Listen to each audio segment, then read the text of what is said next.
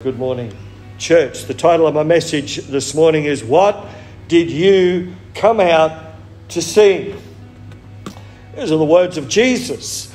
Jesus, in relation to John the Baptist and the crowds of people that were coming out to see this man. Of course, uh, John wasn't all that becoming by way of his looks. In fact, uh, he wore camel hair, which is not something you certainly want to give a hug. You wouldn't want to be hugging him too quick, you know. He, he ate locusts and honey. There you go. I don't know your dietitians how good that is. There's not a chance he had underarm deodorant. And he's standing in a pool of water every day for most of his life. Now, you'd have to ask the same question, wouldn't you? What did you come out to see? And Jesus asked this question of them because he knew of John, that John was not there for entertainment. And when the people got there, if they weren't there for the right reasons, they would have been extremely disappointed. You can imagine, can't you? Word had got around. He's either a crazy man or he's a prophet. Let's go and see. And as you're walking down the hill and you're looking in the distance, you see this fellow and a stream of people walking into the water. And you'd feel a sense, well, something's happening. What's happening? Something's happening. Jesus looks at them and says, What did you come out to see? Matthew 11, verse 8 to 10. Well, what did you go out to see? A man clothed in soft garments? Indeed, those who wear soft garments are kings in houses. But what did you go out to see? He asks it a second time. What, a prophet? Yes. I say to you, and more than a prophet. For this is he who is written Behold, I send my messenger before your face, who will prepare your way before you. the, the message of John, the ministry of John, was to prepare the way for Jesus. Before a great move of God, there is almost always, indeed, I would say always, a preparation time in our life. A preparing. Where God is setting the table. What does He say? He sets a table before me in the presence of my enemies. Hallelujah. The enemy's coming against you. And there are three or four angels, you know, putting the cloth over the table and, and yeah, the salt and pepper shaker there, and, and the plates are going out, and the cutlery's coming out, and the demonic powers are going, What are they doing? We're messing with this person's life. And God's going, uh, uh yeah, for the time being, but I'm preparing victory right here and right now. And then you sit down, and, and what the enemy has come to do God has prepared a way of victory for you.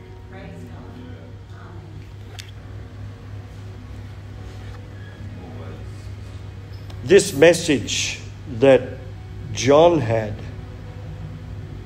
if it had been entertainment that the people were looking for, then they would have been bitterly disappointed. In Matthew 3, verse 4, we read this message. In those days, John the Baptist came preaching in the wilderness of Judea and saying, He had one message. That was it. Now, you, you, you've traveled through the desert. You've got your kids there. You've given them their tucker box lunch, you know, in case you're there for a long time. You've had a chat as a family that morning. This, uh, what are you going to do? It's Saturday. What are we going to do today? I don't know. Let's go and see that guy everyone's talking about. You know, that fella that's, uh, you know, out, he's out in some pool. Maybe we can have a swim if he's boring. Who knows? You know, but let's get out there and, and come on, children, get all ready. Why do I want to go and see some old man? No, no, no, no. It's going to be exciting. And then you get there, and the children say, What? That's it? Uh, you hang on, what's he going to say?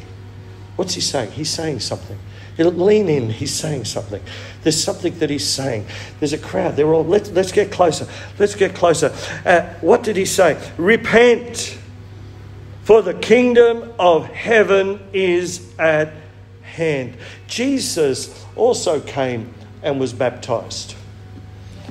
And then the Bible tells us that after his baptism, he is led into the wilderness by the Spirit of God. More often than not, a preparation time also has with it a wilderness experience.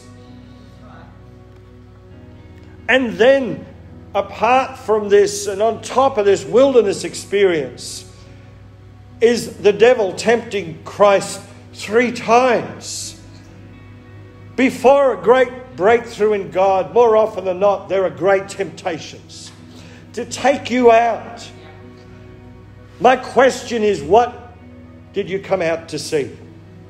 For that is the question that Jesus had for these people. What did you come to see? He doesn't look anything like Elvis Presley, this fella. Nothing like Michael Jackson. He can't sing. He's not a muso. Probably hasn't had a shave in his life but he has a message to prepare the way. What did you come out to see? Yes, this is what I know. A move of God does not always look like what we want it to. Jesus is then tempted by Satan three times, commences his ministry. The first place he goes to is the temple reads from the book of Isaiah, and he is shunned immediately by the people. An instant failure, according to the world. And so many people would give up at this time. And you have a burning desire, and you're looking forward to something. And God is taking you through these various different experiences, and you turn up. God touches your life in a supernatural way. Be ready for the wilderness experience. Be ready, ready for the temptations that will draw you away. What did you come out to see? A lot of people praying for revival. I hear about it all the time. In fact, my entire walk with the Lord, I've heard people praying for revival. Well, Jesus spoke of what may be called the first revival in the New Covenant, the New Testament. He said that the Holy Spirit would come upon them. And he said that there will be great power. Now, we love to hear those sort of words, don't we? I tell you what, you know what's going to happen. You better come this Sunday because this Sunday there's going to be great power. There's going to be great authority. There's going to be great this. But my question is, what did you come out to see? For the same power, for, a, for power was given unto those who came to John but it had nothing and it didn't look anything like what they came out to see. What they came out to see and what John delivered were two different things. And that's the question I have for you. What did you come out to see? Of course, Jesus speaks of this, what is going to happen. Now, they've lived through the crucifixion and the resurrection, and he's been with them now 40 days sharing with them. He stood on the side on the beach and, and told them to cast the net on the other side. And already there's some more miracles happening between him and the disciples.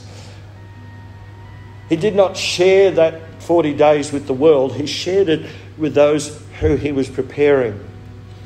And then he says, The Holy Spirit will come upon you. Wait in Jerusalem. Great power, you're going to be my witnesses. But what did they come out to see? Let's have a look. This is what they were interested in. Acts 1, verse 6. Therefore, when they had come together, they asked him, saying, Well, Lord, will you at this time restore the kingdom to Israel? They had a different mindset to what Jesus had. Jesus is talking about the power of the Holy Spirit to be his witnesses, and what they're interested in is dominion and taking over and the restoring of Israel. Jesus was interested in the restoring of men's hearts. And there was something way beyond friend, I'll say this to you. You're looking for a revival out there. God is looking for a revival in here. Do you get what I'm trying to say to you today? I used to say the best years are ahead. And then I realized I was defeating hope within my heart because this is the day the Lord has made. The response of the disciples is no different to the response of so many people these days. Even the crowd, the Holy Spirit has come upon them.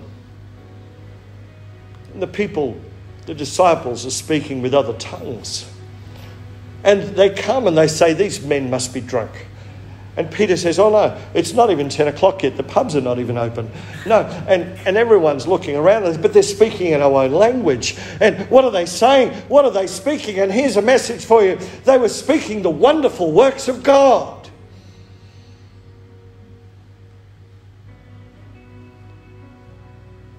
That's what they were speaking, and these people are hearing these words. And the response of the people in complete bewilderment. Now, Peter is anointed with the Holy Spirit. Oh, yes, he had already been what we might call saved, a new creation. We read at the end of John where Jesus breathed on them and said, Receive thou the Holy Spirit. He had died and been resurrected, and now they were new creations in Christ. But there was something more that they needed, and that is they needed an anointing of the Holy Spirit with dunamis power. Paul later to speak of the gifts of the Holy Spirit, which I've taught on this year.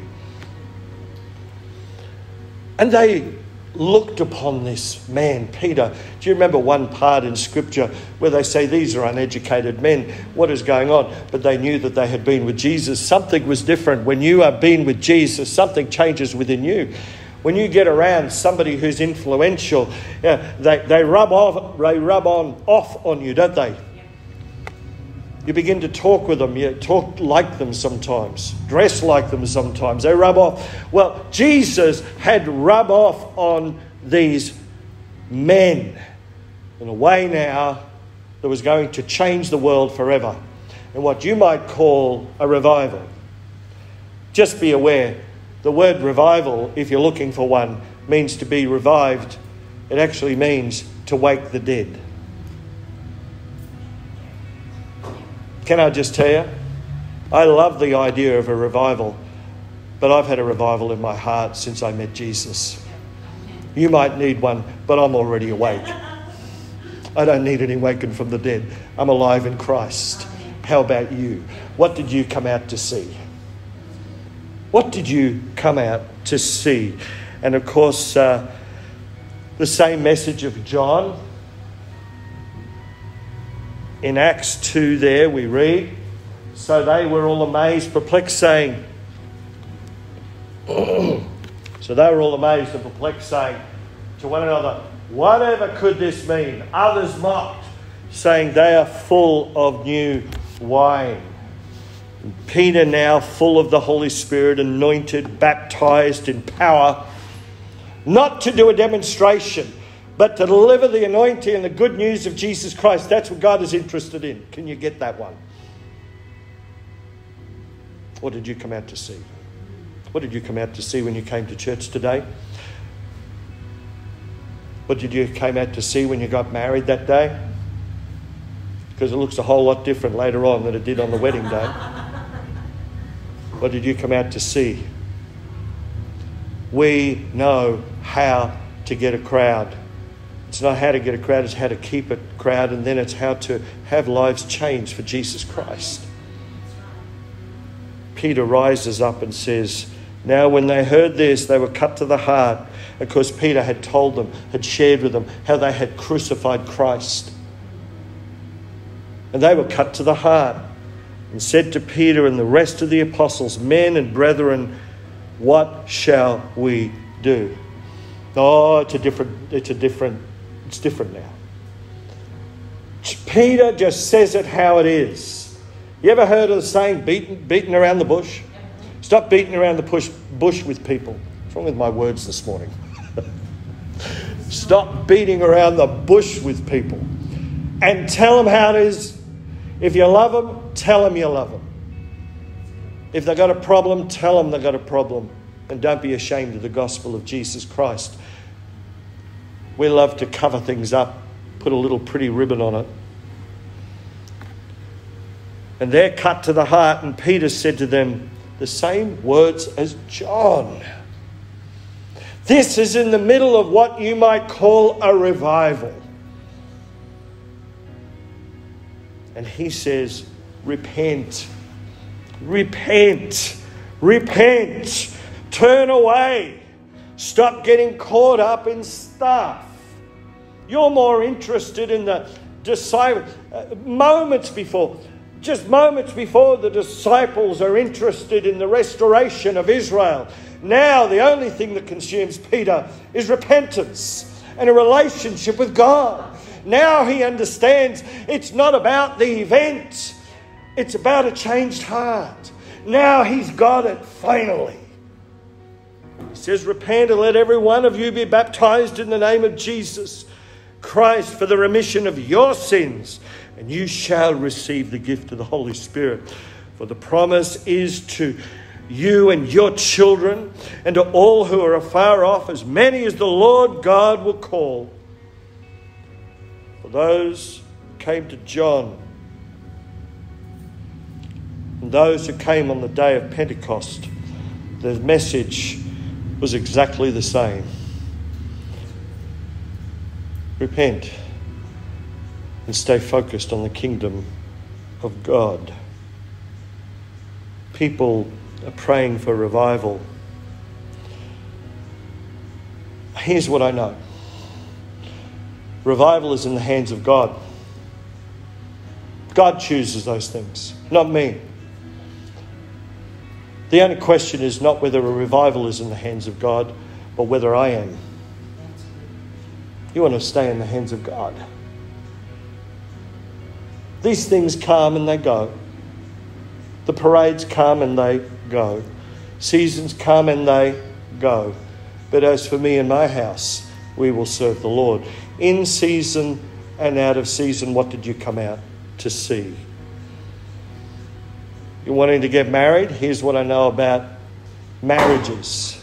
And I say this to people before I do their wedding service.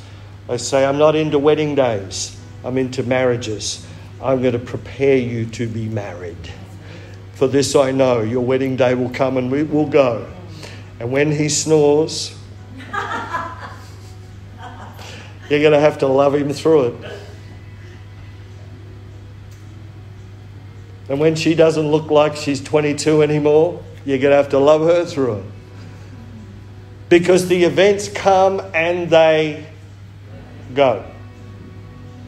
What we want to do is stand the process of the Lord. Long term. Are you with me? Do you understand that? Whether it be starting a business, and I know I have started businesses, a number of them. I know the events come and they go, but it's the two o'clock in the morning emails and the consistency and the process. It's the making of friends, it's the going to church. It's what happens before a revival and after a revival that matters, not the revival itself. Do you understand what I'm trying to tell you? Because people are coming out to look for the spectacular. I can grow a church. This is not the only church we've grown. I, I have seen God move. But what did I just say? I have seen what? You, you would see now I'm testing you as a preacher. You know, man, they, they, they say people forget uh, what you have to say after all. I, and I just gave you the answer. I have seen God move. If God's going to do a miracle, let God do the miracle. Hallelujah. As for me and my house, you see, there is a time of preparation. Now the disciples are in the middle of the revival in Acts 2. But now what was required was the same message that John and the Peter gave that they would continue to live, live a life of repentance toward God, turning away and turning toward. You can repentance is a good word. I don't know why so many Christians don't like that word anymore. It's almost like it's a bad word. It's a very, very good word because it's what God does in me that matters. And here's what I know if what has happened in your heart in God is not good enough for you now, then no revival ever will be. If what God is doing, if you are truly saved, friend, you will have had the truth, and the truth has already set you free. I have spoken in conferences with thousands of people, and I know how to hype the crowd. But I also know when it's truly God and truly me. And I prefer truly God because it, then it'll be long lasting in people's lives. And so it's what happens before. Prepare ye the way of the Lord. Prepare yourself now. There is, uh, I, am on YouTube, as you know, and, and do a lot of them. And, uh, and I find that if I have something exciting, they call them a thumbnail. If you have something exciting in the thumbnail, people will watch. And YouTube tell you, well, focus in on the thumbnail, then focus in on the content. And I have looked at all my different YouTubes, the ones that really got the highest attention the fastest. You know, the ones that got the fastest attention? It's the mark of the beast. Oh, that gets people's attention really fast. The world is ending. Oh, that really gets people's attention. And then I come on and I say, Well, actually, not quite yet. I just wanted you to come on. they go, Ah, he got me. He got me. He got me. The truth is this, friend, just as with John the Baptist, just as on the day of Pentecost, what did you come out to see? And I'll tell you what God would have you see. Say these words with me. But seek first the kingdom of God and his righteousness, and all these things will be added unto you. Now receive those words. And all these things. Love joy hope kindness goodness galatians 5.22 that when you are on your own just as jacob wrestled on his own that your first call will be to him to seek first the kingdom of god you see a person like this can't be disappointed because their faith and hope is in god a person like this actually can't be defeated because their hope is in the Lord. The name of the Lord is a strong tower. The righteous run into it and are safe. Yeah, I believe in this hour the church needs to get back to the roots of what we truly believe. And that is, it's not about the event, it's about the Lord Jesus Christ, was, is, and always will be. It's about experiencing the love of God and the changing work of the Holy Spirit in our heart. It's about this. If God's work in me right now is not good enough for me, if I'm not satisfied in that, then no revival, no event, no miracle is ever going to be. Taste and see that the Lord is good maybe one day when He does a work in your life. Now, hang on. Taste and see that the Lord is good right now. Right now. He is good. Can you receive that? He is good now. I was talking to a married couple a little while ago. No, there's nobody here, so don't think I'm doing that, okay? And they hadn't long been married. And the fella said, But I'm not really sure. I said, My friend, you've just been married. If you're sure, not sure now, you're never going to be. My goodness me. My goodness me. There's a little bit of work to be had, but they're still happily married. Praise God. All right? You come to church, what did you come out to see? We don't have our musicians here today. You're just stuck with me. But I'll tell you something that it's not the quality of our music, but it's the character of our worship that matters. It's not how handsome or pretty he is, husband and wife but it's the heart of the commitment that you made when you said, I do. Do you understand what I'm saying? Many will come and many will go, but will you leave me also? Jesus said, Only you have the words of life. We don't understand you, Jesus. You do funny things. You talk about eating your your body and your blood and raising the temple and all these sort of things. We haven't got a clue what you're doing, but there's something about you. Only you have the words of life. And of course, later they came to understand. It's not the temporary entertainment that John was trying to offer John the Baptist, but he was preparing their hearts for the Son of God. And when he turns up, Jesus himself is led into the wilderness, tempted by the devil, shunned at his very first meeting. How do you like that? What a way to start your ministry. You get up to preach, and they want to kill you. That's around about how my ministry started, actually. I remember that. what did you come out to see today? What did you come out that everything will go well in church today? That the minute word would be so good that the church, that everybody will have turned up today?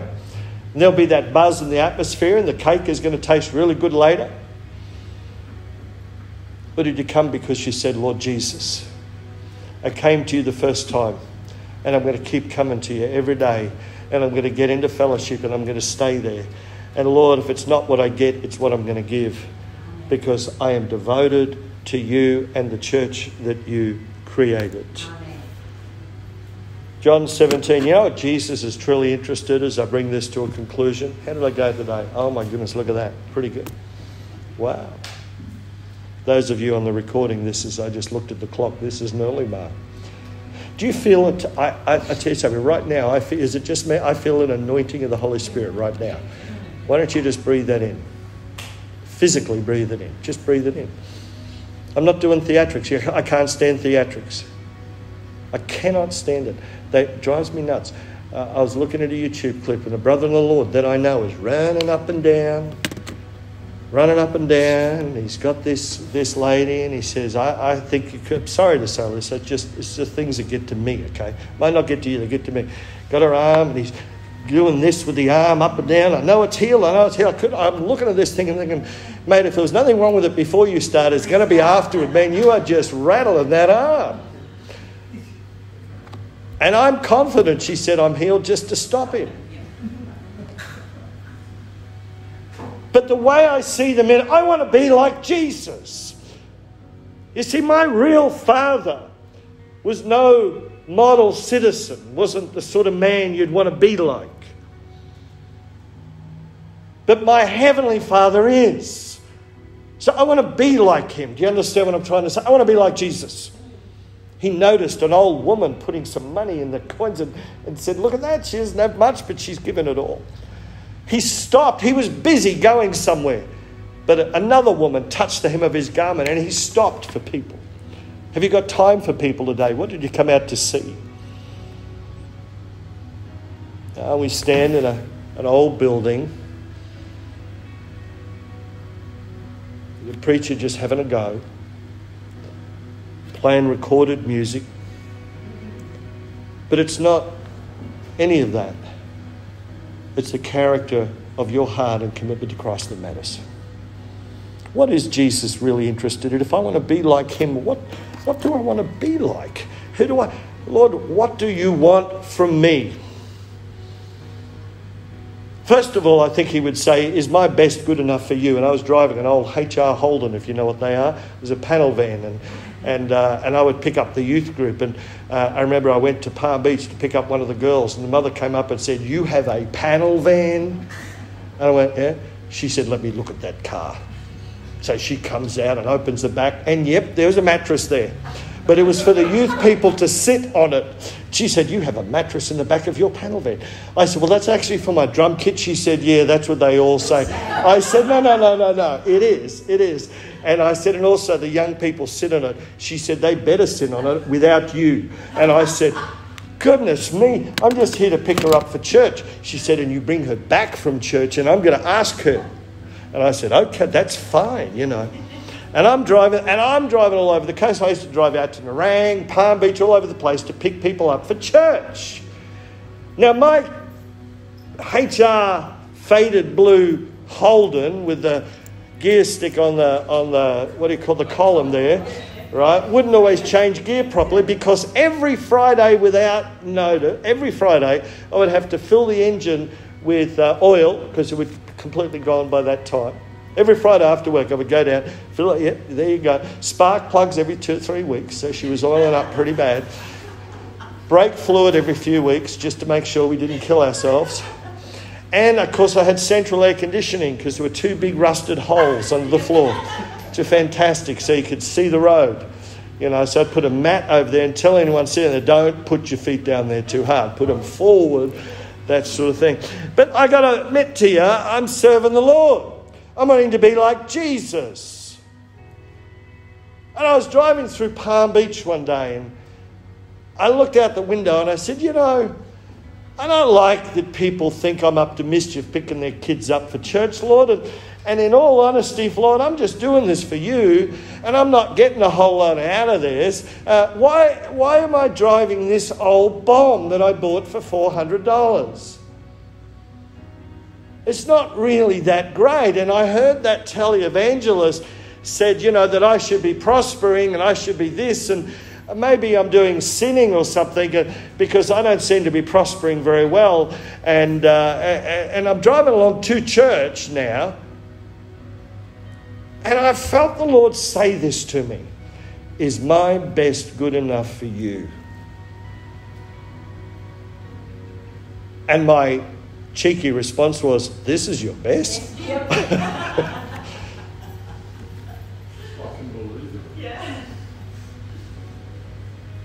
and I, no different, no different. See, God's got to take you through the wilderness first.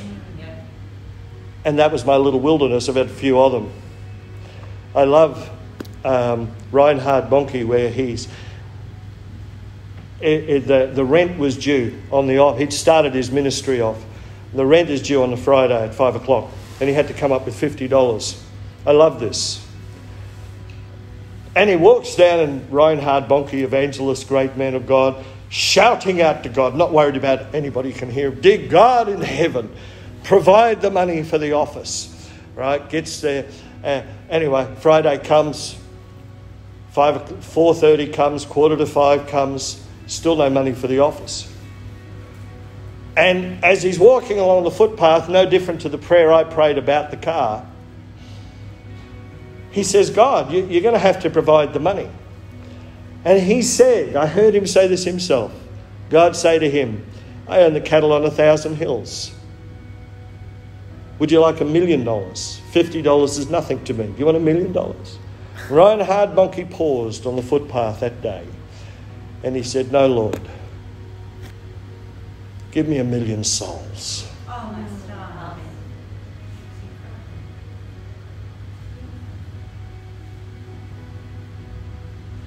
He got back, and somehow the $50 was paid. And within weeks, a million people gave their life to Christ. Let's give the Lord a clap off right? Praise. What did you come out to see? Is my question to you. What is the prayer of Jesus as I close this right now? Here is the heart. You want to be prepared for all that God has for you. Here you are. I do not pray in John 17, verse 20. I do not pray for these alone, but also for those who will believe in me through their word, that they will be one.